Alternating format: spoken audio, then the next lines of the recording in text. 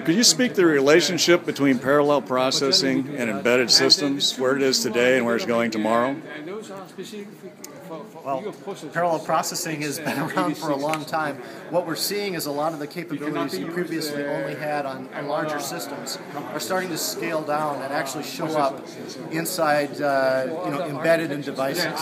And we're starting to call those intelligent systems, uh, not just Intel, but the industry in general, where you know various devices actually have uh, processors in them, sometimes with multiple cores in those processors, and connectivity to the network.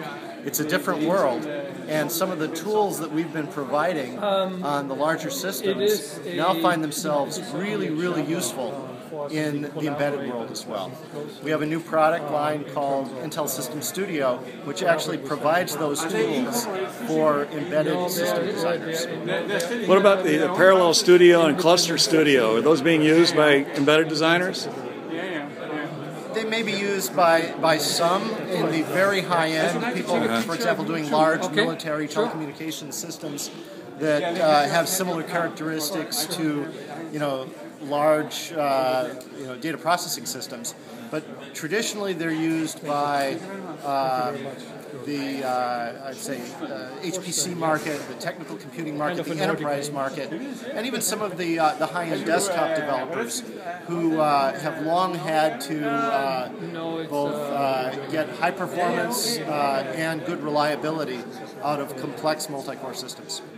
How about your system studio you mentioned? Is, what are the parallel tools are in there as well? Parallel tools are in there.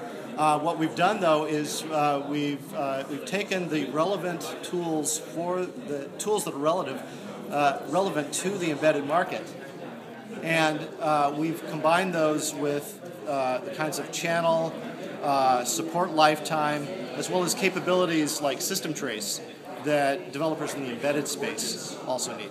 And what about the future? How do you see parallel processing developing in the future? For I mean, you, you mentioned that even the smallest uh, SOCs are now using multi cores. Um, yeah, and I think I think that trend is going to continue. I think the complexity of systems on a chip is going to increase, and so the need for tools like what we provide in uh, Intel System Studio is is likely to increase. If you have. and, uh,